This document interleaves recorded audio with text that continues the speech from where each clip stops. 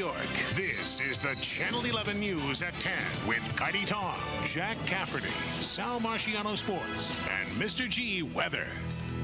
Good evening. We begin tonight with an exclusive report.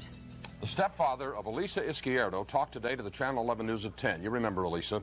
She's the six-year-old girl who was tortured to death, allegedly by her mother.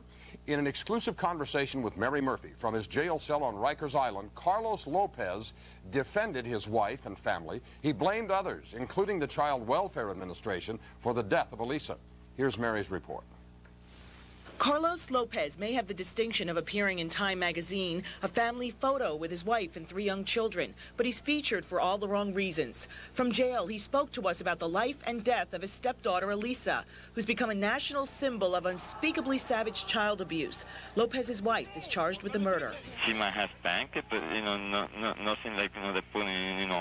How did you treat Elisa? Just like she was my daughter. There were reports that Elisa was hung in the bathroom from the shower Oh, bar. That, that, that, that's all a lie. There were reports that your wife sexually abused her with a.